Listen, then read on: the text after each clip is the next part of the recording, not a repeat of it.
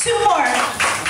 This one's a cover that you probably don't know. It's by a band called The Tragically Hip from Canada. I don't know if you guys know them or not, but this is a really good song called Courage. Jeannie, what's the song about?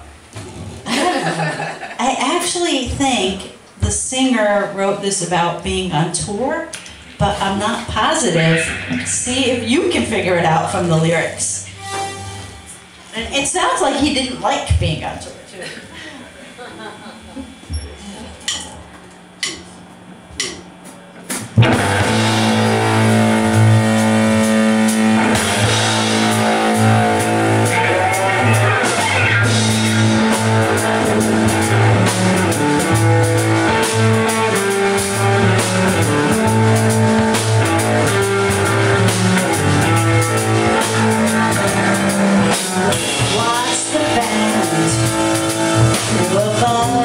dancers.